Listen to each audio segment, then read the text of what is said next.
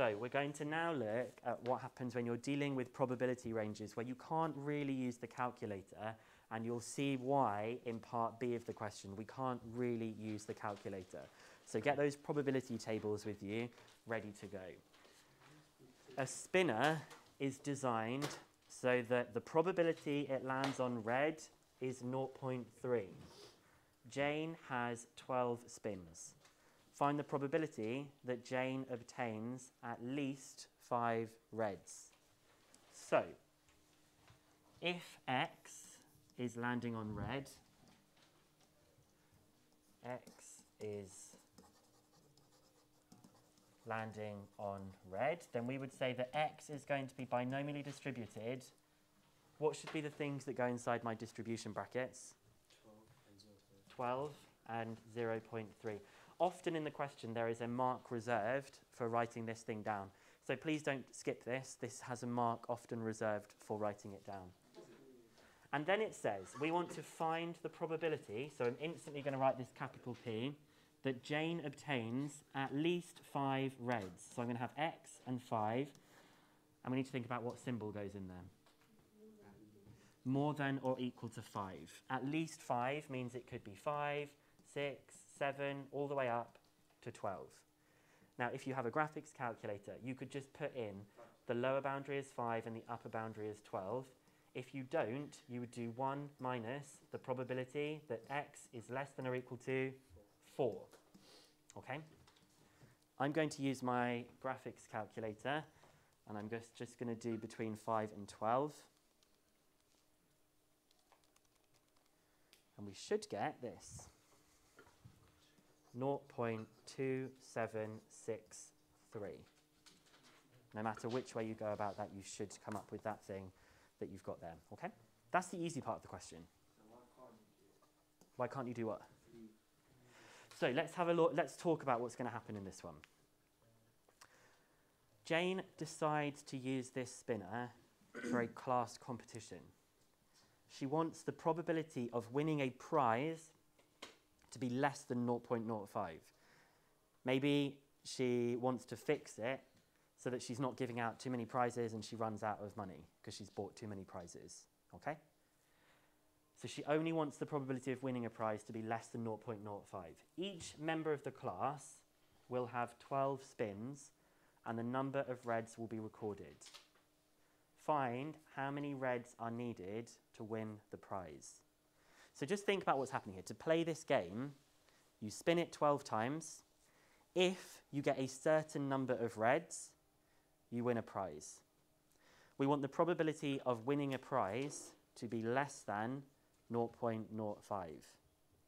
So I'm going to do this first, but I'm going to try and I'm going to structure this first one, and the second one we might get a bit more support from you. So I want the probability that when I spin this spinner, and I get at least a certain number of reds, meaning I win a prize. Let's just pause there for a second.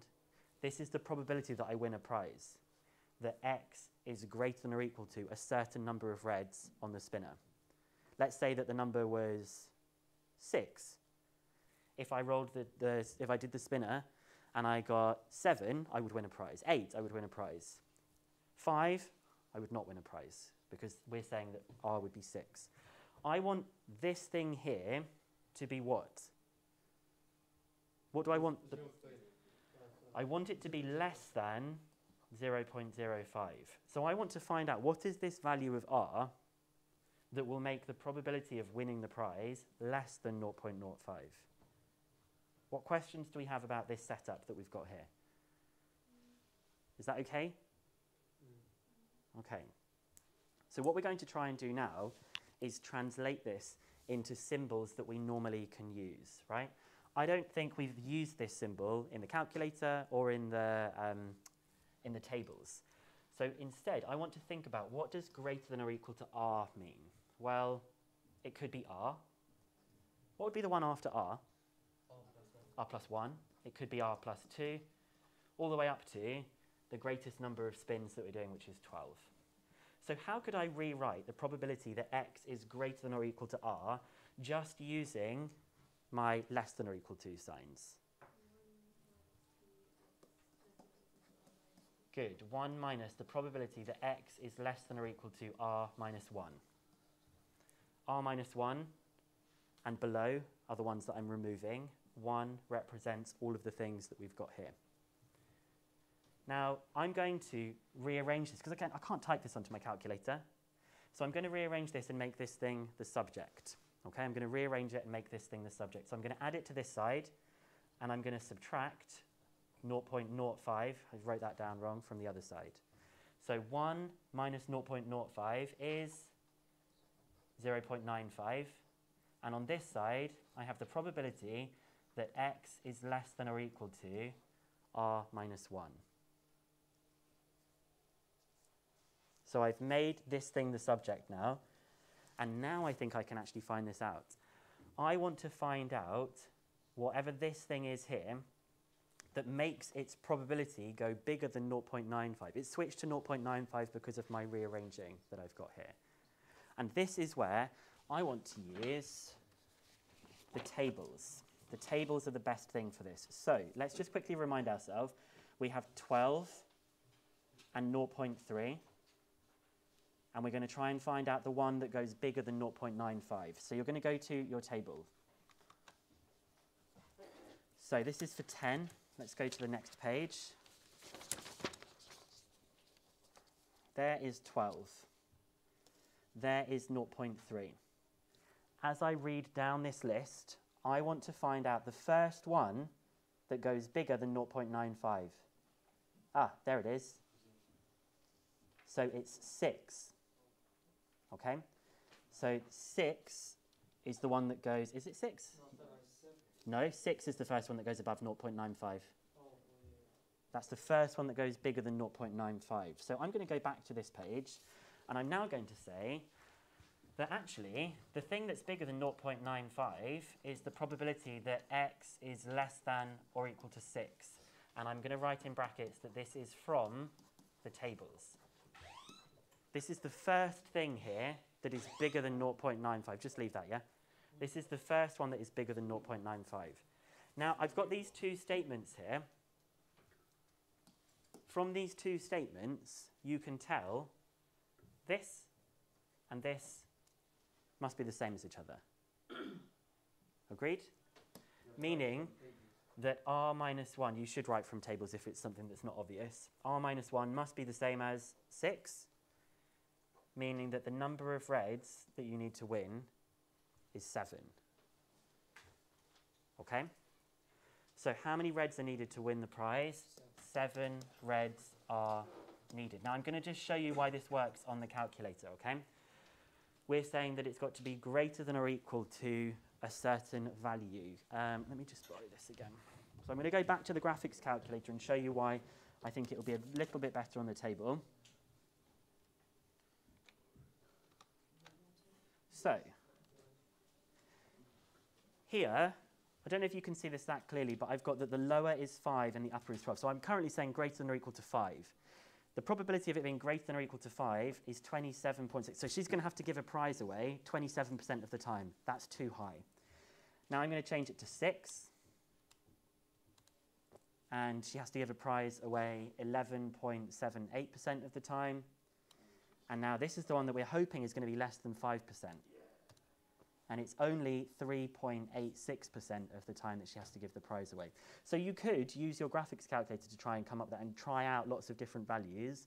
But the foolproof method is going to be using this. Now, if you don't have the graphics calculator, it's a bit harder because you can't do the upper and lower boundaries in quite the same way as you can do here. We're going to try one more example like this before the end of the lesson. This time, though, it's also going to be very worded. It's about passing exams.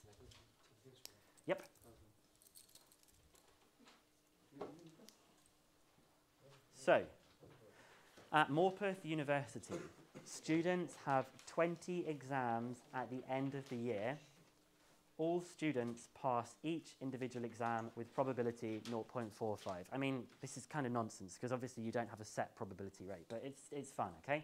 Students are only allowed to continue into the next year if they pass some minimum of exams out of the 20. What do the university administrators set this minimum number such, the such that the probability of continuing to the next year is at least 90%? So there's a lot of information here. What I want to do is start pulling some of it out so that we can start to agree on certain things. So you have 20 exams and the probability of passing is 0.45. So if x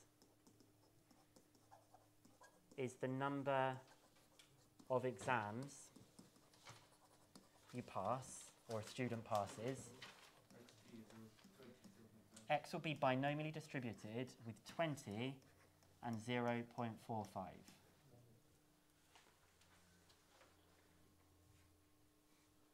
We need to think what is the minimum number of exams such that the probability of continuing to the next year is at least 90%.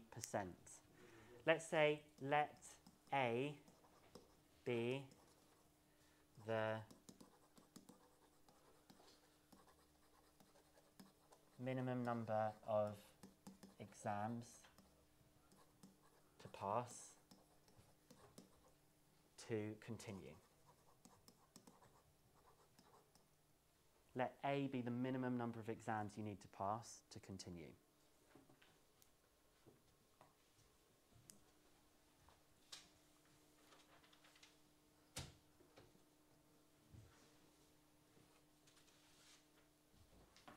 So what are we going to write in here? We want the probability that the number of exams you pass being, so if A is the minimum number, what's going to go inside here?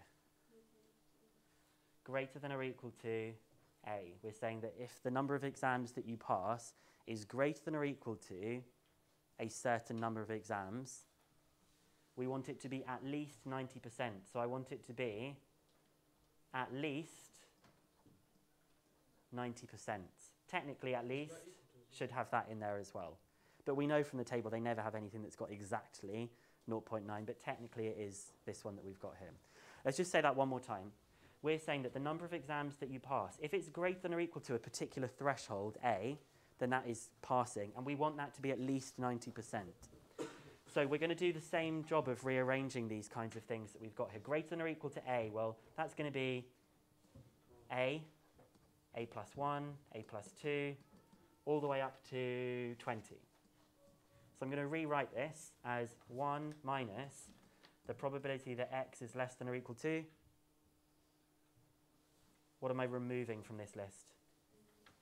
a minus 1. And I want that to be greater than or equal to 0.9. So I'm going to rearrange this now. I'm going to put that to the other side. So that's the probability that x is less than or equal to a minus 1 and I'm going to do 1 minus 0.9, which is 0.1. So this time, I'm going to be looking for the first probability that is less than or equal to 0.1. If you want, you could write it this way, right? You could flip the whole thing. So it's a little bit easier to see that we're saying we want this thing to be less than 0.1. So go to your tables. Let's see if you can find it in your tables. We want n to be 20. Pardon? We want the probability to be 0.45 and n to be 20. So I'm just going to quickly go over to the. Have you got your green tables to have a look at them? See if you can locate where that should be.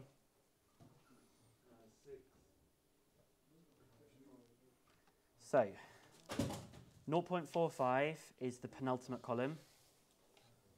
And we're looking here. We want to find out the last one that is less than 0.1? I think it's this one here, right? I think it's 5. Because 6 is greater than 0.1. 5 is the one that is less than 0.1. So that means the probability that x is less than or equal to 5 is the one that's less than or equal to 0.1. So comparing these things together, a minus 1 must be equal to 5, meaning that a is equal to 6. So the minimum number of exams to pass is 6. And I'll show you that it works by putting it onto the graphics.